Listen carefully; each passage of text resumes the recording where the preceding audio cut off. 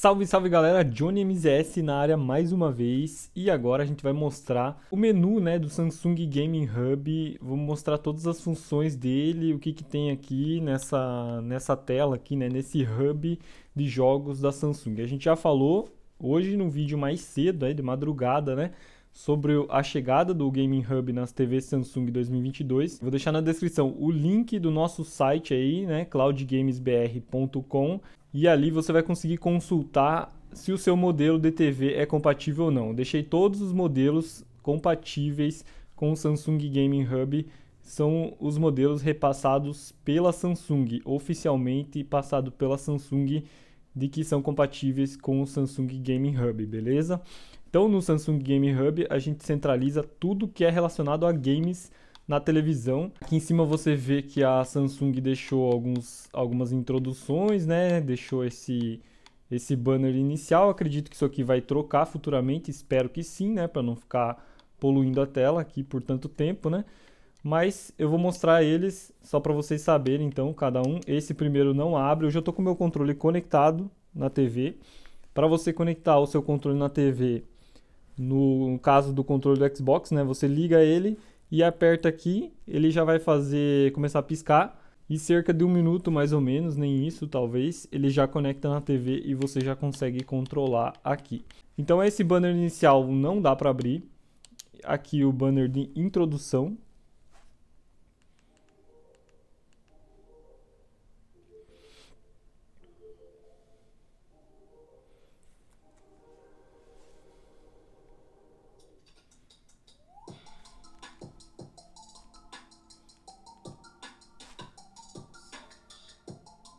Então a Samsung introduzindo aí, né, o que que, que você pode fazer na sua TV, pareamento de controle, controle pareado, apertar o botão home do controle e ele vai voltar pro, pro home do Game Hub, né, para a página inicial do Game Hub. Aí tem a área de jogos populares, que a gente vai mostrar daqui a pouco.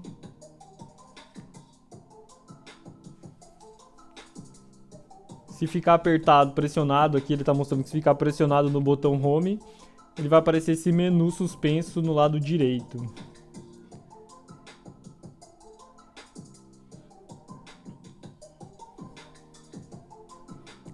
E aqui mais detalhes sobre a TV. E lá embaixo os tutoriais disponíveis também. Personalização, né? Opções de personalização. A gente vai mostrar todas essas opções aí. Então, de volta aqui ao Gaming Hub, então aqui como acessar games e recursos adicionais. São três videozinhos aí para eles explicar um pouco sobre cada coisa. É... Mas a gente vai mostrar na prática aqui, então não precisa ficar assistindo, não vamos assistir todos eles. Aqui embaixo você tem os acessórios, né? Então aqui tem os controladores. E aí você pode adicionar os seus controladores, né? Se você tiver mais de um, conectar eles aqui. No caso, meu controle do Xbox aqui está conectado já está aparecendo aqui e ele fica buscando porque se tivesse mais ele também apareceria aqui. Aqui é áudio, né? Então você pode transmitir o áudio da sua TV para outro lugar, né? Aqui está no alto-falante, poderia ser um receptor óptico, né? Via cabo óptico, ou até um fone Bluetooth, né? Ou um rádio Bluetooth. E aqui os aplicativos e dispositivos. Então, se eu conectar um PlayStation aqui, ele já vai aparecer automaticamente aqui, Nintendo Switch, né? E no caso, eu conectei o Xbox Series X e ele está aparecendo aqui também. Aqui, o Xbox é o Xbox Cloud Gaming. Esse aplicativo aqui é o aplicativo do Xbox Cloud Gaming.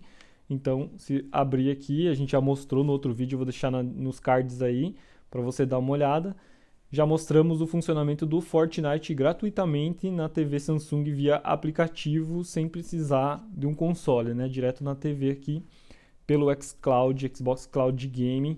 E a gente vai testar também, vamos testar outros jogos. Eu pretendo trazer aqui um vídeo ainda hoje sobre Forza Horizon 5 rodando nessa TV aqui. Então, o NVIDIA GeForce Now, é, para assinantes do GeForce Now ou o plano grátis, você também consegue jogar aí vários jogos grátis ou jogos que tem na sua conta da Steam, da Epic Games, né? Você vai conseguir jogar via GeForce Now nessa TV sem precisar de mais nada, só um controle e a televisão. Aqui é o aplicativo da Twitch. Ele não colocou o aplicativo da Twitch aqui na tela. Eu tive que ir lá no, nos aplicativos, né? Deixa eu mostrar. Eu tive que vir aqui em mídia. Aplicativos. E aí eu vim até aqui em jogos.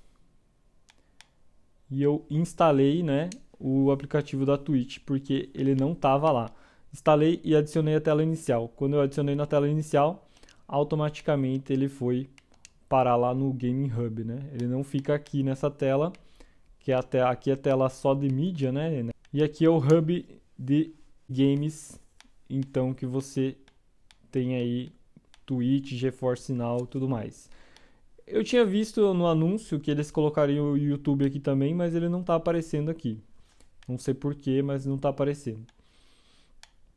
Então, descendo um pouco mais aqui, também temos o Xbox, né, que é o Xbox Cloud Gaming, e aqui ele já destaca os principais jogos do Xbox Cloud Gaming, Forza Horizon 5, Assassin's Creed Origins, Flight Simulator, Sniper Elite 5, vários jogos aí que são muito jogados no Xbox, né?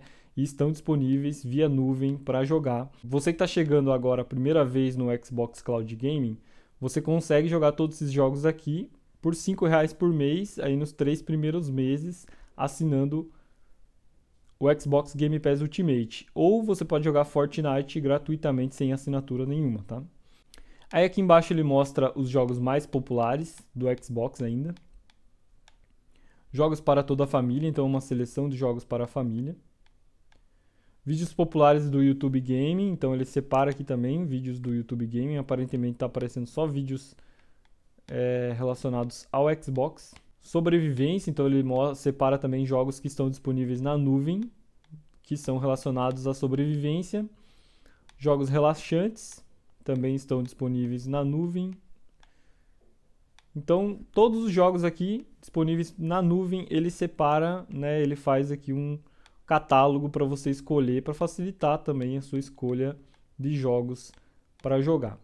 Aqui também vídeos populares da Twitch, né? Então, como eu já instalei o aplicativo da Twitch, ele está recomendando alguns vídeos. Aliás, eu faço live geralmente final de semana lá na Twitch, então se você quiser seguir lá, o meu canal é JohnnyMZS, o link está na descrição. E aqui embaixo tem também as coleções. E aí você pode escolher. Vamos abrir um aqui para ver. RPG. E aí ele separa os jogos de RPG aqui. Eu não fiz login ainda no GeForce Now, então talvez por isso não esteja aparecendo ainda recomendações do GeForce Now. É, quando eu fizer login, acredito que vai aparecer também é, outras recomendações, ou talvez eles fiquem juntos, né? GeForce Now e, e jogos do xCloud, não sei. Aqui embaixo tem bloqueio de classificação, então você pode escolher aqui jogos é, mais 18, né, a classificação de jogos ajuda você a decidir quais games podem ser jogados. Apenas games adequados à faixa etária do seu público podem ser jogados. Então, se você tem aí, né, crianças em casa, você pode escolher aí, né, sei lá, menos 12 aqui, é, né, 12 para baixo, então só vai aparecer jogos de 12 anos para baixo, né? E aí é, vai exigir uma senha para você jogar outros jogos. Personalização a personalização usa dados nesse aparelho para exibir games jogados recentemente, acessar conteúdo de assinantes e oferecer recomendações. Então aqui ele personaliza de acordo com as suas assinaturas aí nos aplicativos de streaming de game. E aqui os tutoriais. Eu estava editando o vídeo aqui e eu quase esqueci de uma parte, né? Então eu vou mostrar aqui como que funciona quando você abre um jogo. Eu não vou jogar, não vou fazer gameplay, testar, eu vou testar em outro vídeo aí, Forza Horizon 5 e mais jogos se vocês quiserem, tá? Mas agora eu vou mostrar aqui só como que funciona. Se eu abrir um jogo aqui no catálogo, então ele... Ao abrir o jogo ele já mostra um trailer, né? Ao estilo Netflix. Mostra o trailer do jogo e aqui embaixo ele já diz que está incluído na assinatura do Xbox. Se eu clicar aqui, Aí ele mostra detalhes adicionais, resolução até Full HD, né, 1080p, FPS 60 FPS e os controles compatíveis com o jogo. Clicando em continuar, ele vai abrir o jogo. E aí o que eu quero mostrar é o que, que acontece quando você aperta aqui no meio, né, que vai aparecer aquele menu suspenso. Ó, apareceu o menu suspenso e aparecem os jogos recentemente jogados ou um botão para entrar no Game Hub. Se eu ver para o lado, tem os vídeos, né, mostra os vídeos aqui, aqueles mesmos vídeos que estavam recomendados lá do Xbox. E mais para o lado ainda tem configurações. Posso buscar, então eu posso buscar jogos aqui, né? Posso parear com novos controladores ou posso escolher a saída de som. É um atalho para aqueles, para aqueles acessórios que aparecia na tela inicial. Aqui é o estilo de som e o estilo da imagem também. Se eu apertar aqui no controle, eu já mostrei o controle para vocês no vídeo anterior. Se eu ficar apertado nesse botão aqui, ele vai fazer a mesma coisa. Vai aparecer o menu ali, ali em cima e eu posso usar o controle da TV mesmo para fazer isso. Então depois que eu abrir o jogo em nuvem, ele ainda aparece a opção jogar e aparece mais informações do jogo, descrição e algumas informações adicionais, igual ele aparece na loja do Xbox, né? Aqui em cima eu posso buscar outros jogos. Posso emparelhar mais um controle e eu posso clicar no meu perfil aqui para ver minha assinatura, configurações da, de segurança, versão prévia de recursos eu não sei o que, que é e algumas opções de acessibilidades, som e ajuda. E aqui o um botão de sair também para eu sair do jogo. Então é legal que eu não tinha visto ainda, né? Aqui, descendo aqui ainda dentro do, da tela que aparece o trailer do jogo, tem uma área aqui de classificação né? Então, 161 mil membros classificaram o jogo em 97 pontos. Agora, membros do que? Não sei da onde que ele tira essa informação ainda. E a nota 94 com base na classificação de 162 críticos. Também não sei da onde que surge essa informação, né? Para ele trazer essa nota. Do lado direito tem o gênero, a data de lançamento do jogo, faixa etária, mais trailers e capturas de tela, vídeos relacionados ao jogo, Inclusive tem até lives aqui, né? Lives ou vídeos gravados da Twitch, né? Gameplays do YouTube. Legal, isso aqui é legal, né? Uma recomendação aí, né? Para criadores de conteúdo é muito bom. Quem cria conteúdo sobre o jogo, talvez seja recomendado aqui na tela dos jogos aqui da Samsung. Mais embaixo, jogos relacionados a esse. Então, jogos que têm um estilo de jogo parecido com o que está sendo apresentado aqui. Legal, muito legal esse menu, cara. achei bem organizadinho aqui, legal. Né, para você conhecer o jogo antes de começar a jogar e tem até o trailer, né? E mais um detalhe aqui, né, como eu já joguei o jogo Hades, né?